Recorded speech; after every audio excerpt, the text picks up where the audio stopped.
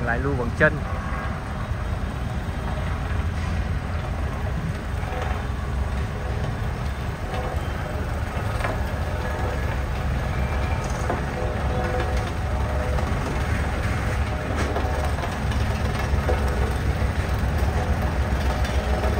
Xà cài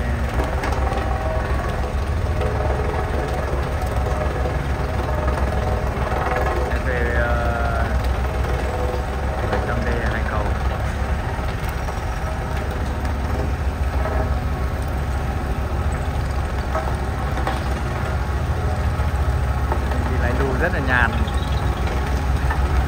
Vừa lướt điện thoại vừa vừa